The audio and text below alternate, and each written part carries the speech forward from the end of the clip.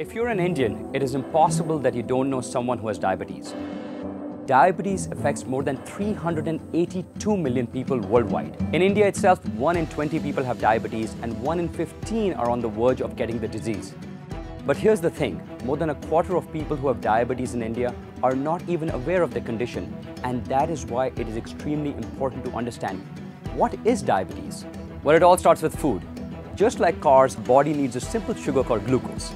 Glucose is our body's key source of energy. It's a sugar, but not the kind which we put in our chai or coffee. That is sucrose. I'm able to stand, talk, move my hands because of my body's simple ability to convert human food into cell food, glucose. When you're digesting food, your pancreas releases a hormone called insulin.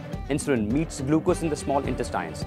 Once they're in the bloodstream, your heart pumps it around the body as energy. So what does diabetes have to do with all this? Well, there are two types, type 1 and type 2.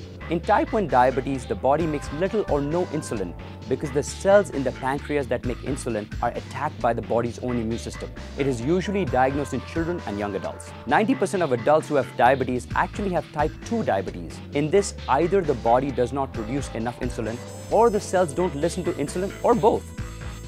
So without insulin, the glucose has nowhere to go.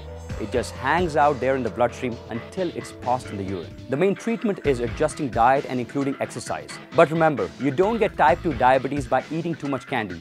The whole calorific count of your meals matter. Scientists are trying to find the causes and cures of all types of diabetes as if left unchecked, high blood sugar can cause severe damage to the human body. Blindness, impotence, infections, nerve damage, hypertension, kidney damage, stroke, hearing loss, swollen limbs, ulcers, and gangrene are all side effects of poorly managed blood sugars. If you don't want to end up with all that, keep watching as we decode type 2 diabetes.